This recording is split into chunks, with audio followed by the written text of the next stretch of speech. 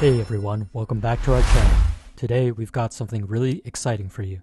We've tested OpenAI's ChatGPT for investing and compared it to our very own deep learning model ensemble, which features 27 intrinsic value metrics and a mixture of experts layer.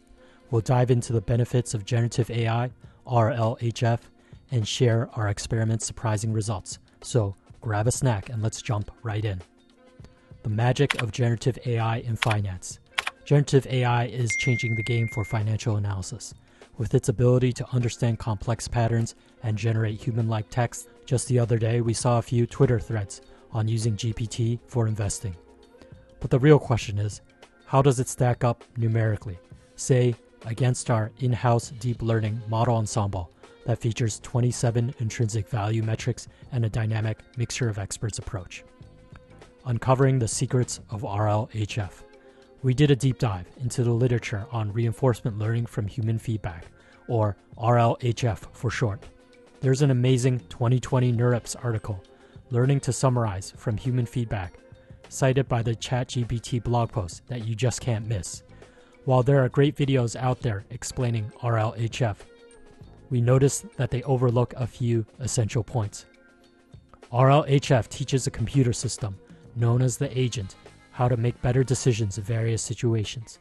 The main idea is to guide the agent by providing feedback on its actions, so it learns from experience and gradually improves its performance. To explain RLHF, we can break it down into two main components the reward model loop and the PPO optimization. Reward model loop. The approach from OpenAI uses a helper model the reward model RM to select between a generated output and human text. The loop can be broken into steps like so. A. Collect data. The language model generates responses to a variety of input prompts or questions. B. Rate the data. Human experts review the generated responses and human responses and rate them based on their quality, relevance, and other factors. C. Train reward model Using the expert ratings, a reward model is trained to help the language model understand which responses are more desirable. The reward model calculates a numerical value, which is the reward given to the reinforcement learning model. PPO optimization. Proximal policy optimization, or PPO, is used to fine tune the model's response generation process. The goal is to help the model generate responses that result in higher rewards, meaning better ratings from human experts, while avoiding sudden changes in its behavior that could cause instability or other undesirable effects. In PPO, we fine tune the language model to generate better responses.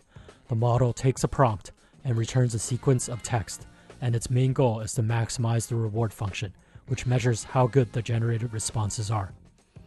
Part 1 Problem Formulation the language model generates text in response to input prompts. It has a vast action space consisting of all possible words or tokens and an observation space that includes various input sequences.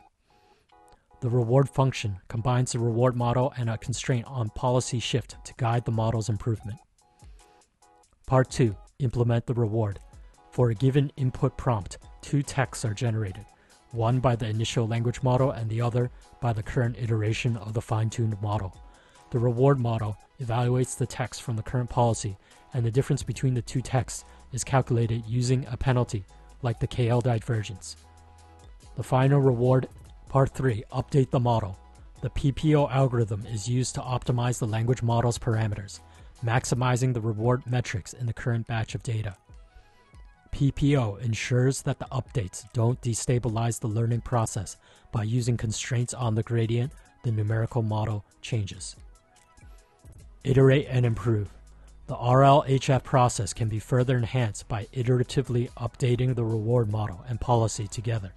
As the policy updates, users can continue ranking the outputs, leading to complex dynamics between the policy and reward model evolution. By iterating through the RM loop and applying PPO optimization, the language model can gradually improve its performance, becoming better at understanding user inputs and providing more accurate, relevant, and useful responses. This process helps to create more advanced and user friendly AI systems, that can effectively assist users in various tasks and applications. Section 3 RLHF Token by Token Training Unleashed. What makes RLHF so powerful? By combining reinforcement learning with generative GPT based architectures, every token is subject to log probability estimation, meaning human feedback trains the neural network at every single token. Imagine you're listening critically to a speaker hanging on every single word uttered. One single wrong word can cause a total disconnect with the speaker and the message. This is an experience all humans have listening to a speech, and now RLHF has recreated it.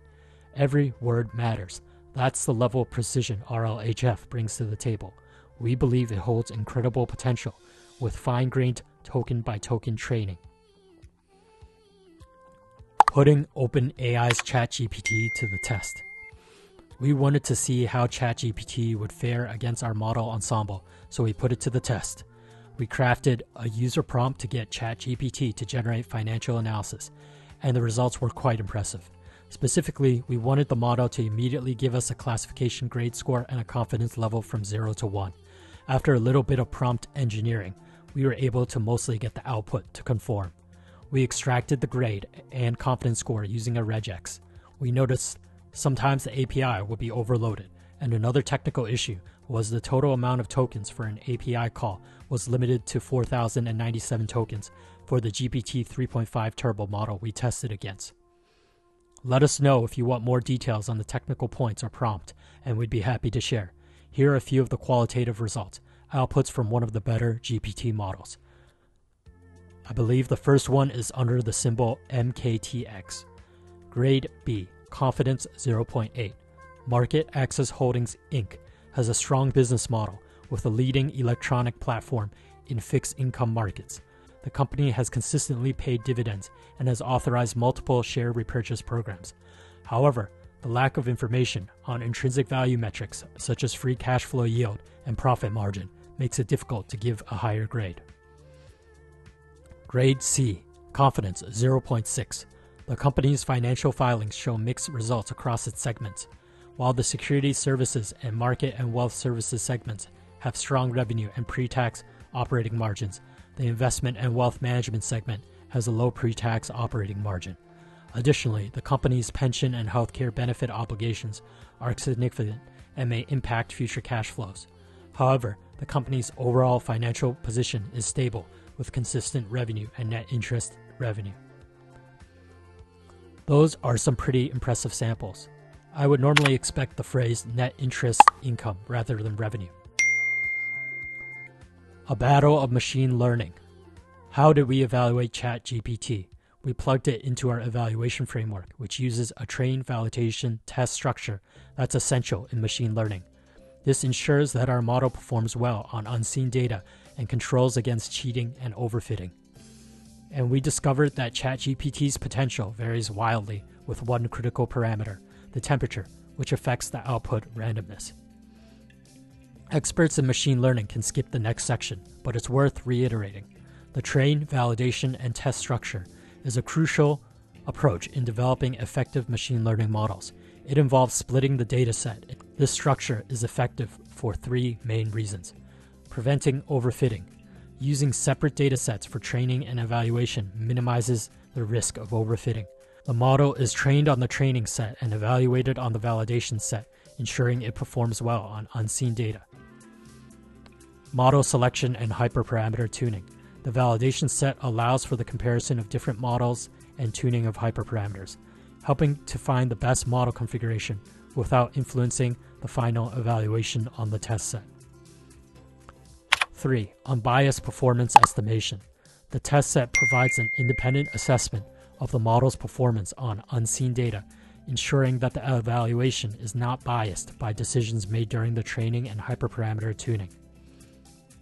In our case, we have over 500 companies, meaning 450 techs for training, 50 for validation, and 50 for testing. Normally, we train the model using the 450 samples, evaluate and tune the model with the validation set, and finally, assess the model's performance using the 50 sample test set. This approach ensures the model is less likely to overfit and provides a reliable estimation of its performance on new unseen data. For our in house model, which is at the product level, we've optimized and frozen the model hyperparameters and used the validation set only for model selection. In our comparison, we're comparing the test set performance of our model versus GPT 3.5 Turbo. And we discovered that the key to unlocking ChatGPT's potential lies in one critical parameter the temperature. The temperature test results revealed. The temperature appears incredibly important for text generation in OpenAI's own words. What sampling temperature to use between 0 and 2. Higher values like 0.8 will make the output more random, while lower values like 0.2 will make it more focused and deterministic. For instance, when we set the temperature to less than 0.2, the ratings experience mode collapse, where they would only issue the same rating, letter grade C, to all companies. We swept the temperature parameter from 0 to 1 and plotted the Matthews correlation coefficient, MCC, and accuracy of the test results. The MCC is a particularly important metric. MCC is a statistical metric used to measure the quality of classification models. It takes into account true positives, true negatives, false positives, and false negatives to provide a single score that indicates how well the model is performing. The MCC value ranges from negative 1 to plus 1, where a value of plus 1 represents a perfect prediction 0 represents a completely random prediction, and negative 1 represents complete disagreement between the predicted and actual results. In general, MCC values greater than 0.1 are considered to be good, while values less than 0.1 indicate poor performance. The MCC can be a more informative measure of model performance than traditional metrics like accuracy, which can be misleading if the model is biased towards the majority class. The verdict our model ensemble outperformed all GPT experiments here. We repeated each test for a given temperature three times and plot an error bar for the standard deviation to give an idea of the stability. During the test, we used a whopping 6.35 million tokens across input and completion. Here is the figure summarizing the results. On the horizontal, we have increasing temperature from 0 to 1, meaning more randomness and possibly creativity at higher ends. On the vertical, we have the MCC and ACC values. We can see that they have a rough correlation. A higher MCC will naturally have a higher accuracy. We'd expect a MCC of 0 to be equivalent to random chance, which would imply an accuracy of 20% for quintiles. On the chart, we can find the best GPT temperature setting was 0.6, which gave 25% accuracy or 5% above random chance. The corresponding MCC value was 0.026. We can compare to an Amicus model which had 39.1% accuracy or 57% greater accuracy than the best GPT model. What's not shown on the chart is our ensemble, which has an MCC value on the order of 0.23, which is a step function above the MCC values from GPT at least 874% higher.